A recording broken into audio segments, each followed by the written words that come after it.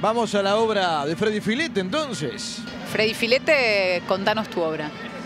Bueno, es una sensación que uno viene a buscar a la cancha, ese perfume de gol, ese ta ta ta de Víctor Hugo, ¿no? Y bueno, quise representar con la técnica del filete, que es la nuestra, nuestra identidad.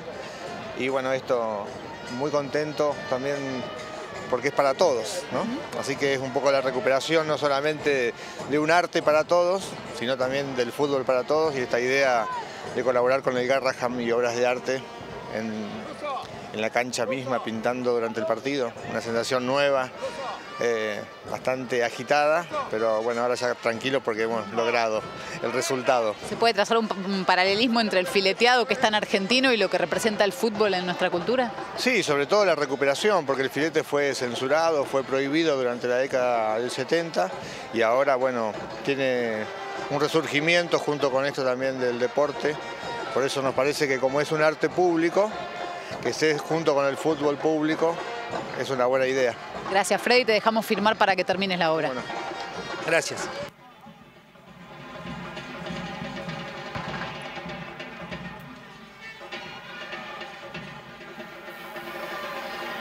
Aquí está entonces la obra en Pintó Fútbol de Freddy Filete.